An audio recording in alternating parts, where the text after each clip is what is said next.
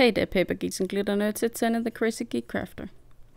This year for Halloween, uh, the theme of my uh, party is uh, Wicked, which, in my opinion, means witches. I have these uh, apothecary, witch apothecary things in my stash, uh, in my uh, decoration boxes. They're made for me by a friend. She had hot glue and paint, and she did a wonderful job. But these are more than eight years old now, and it's showing. There's another problem. Only one of these is made of plastic. The rest is made of glass, which means they're heavy.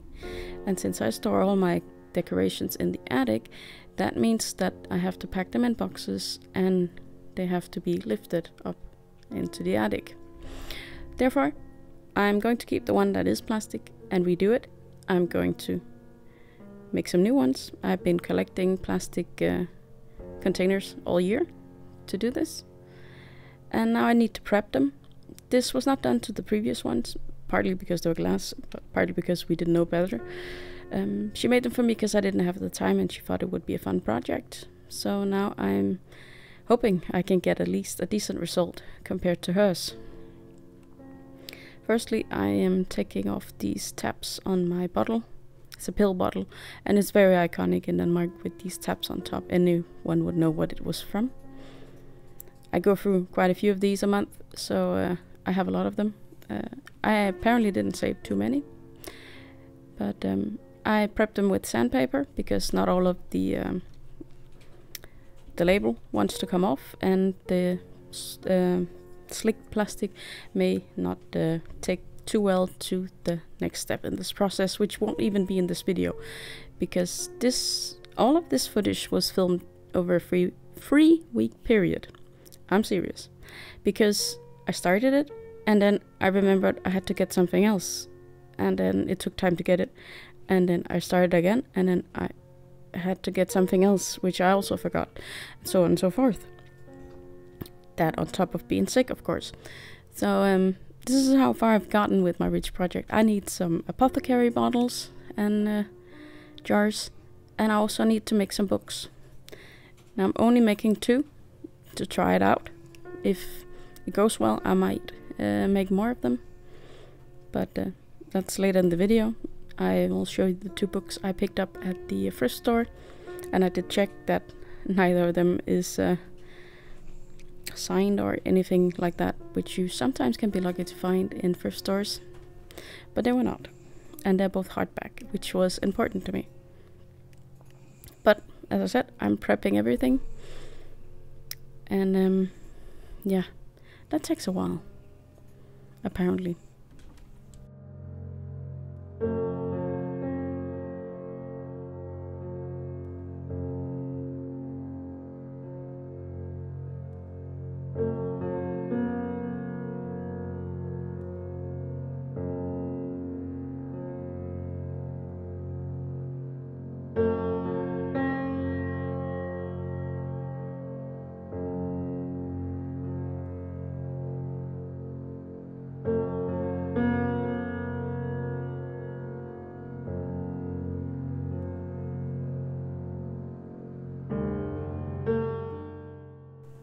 The original bottles I have are decorated with hot glue.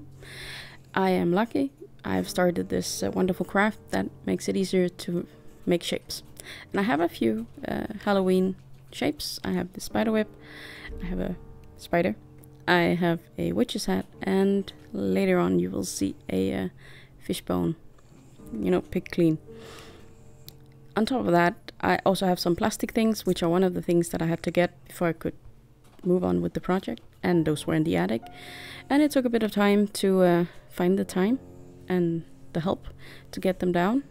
And then I had to unpack everything to find the plastic things I needed. But you can use cardstock for this, and I wish I had a skeleton head. That would have been very nice for this. But that I didn't. So I'm working with what I've got. I'm going to layer these up, trying out uh, how thick I need them, since I'm going to decoupage them onto the uh, books and the bottles with uh, the same technique actually as I did with my haunted house, which is not yet finished. I'm sorry, even sorry to you, but even more sorry to myself because I really wanted it to be done this year. It's annoying, but things take far far longer than you think they will. So I will finish it. That's a promise. The house. I'm talking about the house. These I will also finish, of course. Um, but I figured out that uh, four was a good height to make sure that they wouldn't disappear when I put uh, napkin paper over them. Um, you can use tissue paper as well, but napkins are cheaper, in my opinion. Um, and easier to get. Um, for the um, spiderweb, I will only be using two because they were pretty hard to get out, and stacking them was even worse. So these shapes are easy to stack, and they get four layers each. So, but um, yeah, it's a process. I don't even have a picture of the finished product yet because I haven't gotten that far. So this is interesting. but anyway, how's your uh, Halloween month going? I've been having a few setbacks, I'd have to say, and I also have to make a costume. I haven't started that yet. I bought a few things for it, but again, I have that problem. There's one thing I still need, and I need to go to that special shop to get it. That's a bit annoying, but hey, that's life, isn't it? I have split up the parts with the die cutting since I think most of you know how this works where you put the metal die on top of the paper and put it in the sandwich and run it through the machine. It's not really rocket science or anything. Uh, but it takes some time and it's part of the project uh, getting it done. And this is not the only things I will need. I will also be doing words for the books, at least for one of the books. The other one I'm hoping I can actually do with string. Just again have to go find it somewhere upstairs in a box where I put it. And where did it end up? yeah, memory's a tricky thing sometimes. So hopefully that'll be on part two and hopefully that's also where I'll finish this project because I really don't have that much time left till Halloween. So I'm not I'm not stressed, I'm just in need of more time. I think this happens to me every year, this time of year, because I want to wait till it's actually time for Halloween to make these things. But then I kind of run out of time because there's not that much of it. Here, one of the plastic things I was talking about, like this hand, uh, skulls. I have some snakes. I also have some bugs, different kind of bugs, and find a bag of uh, beads that are supposed to be skeleton heads. Um, I don't think I'll use it for this project in particular. Maybe on one of the containers, but I'm not sure because they're quite heavy. Um, and I would have to use um, hot glue to uh, get them to stay on, I think.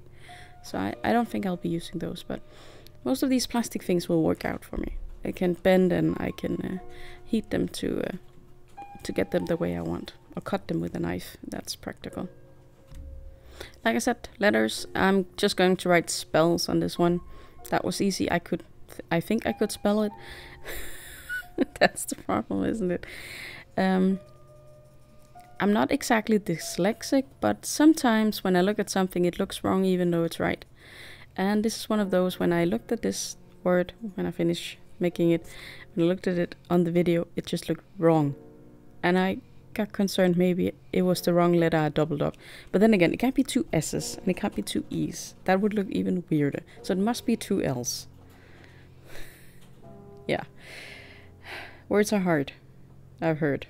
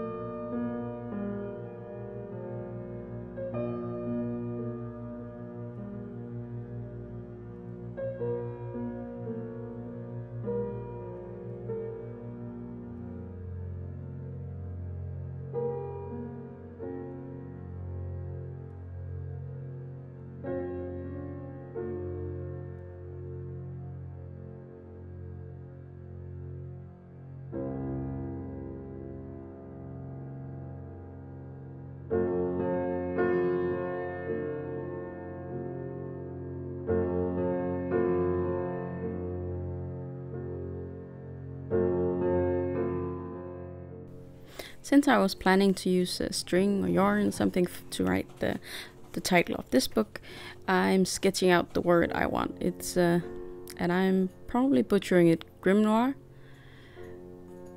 But that can't be right because there's no N in the middle. But um, it's another word for spellbook um, that you can use. I also actually need to make an extra set of the word spells because I need it on the spine of the book as well. And I need that on this one too. But that's uh, for next week's video. I hope you return for it. Until then, I hope you'll be having a good day, evening, or night.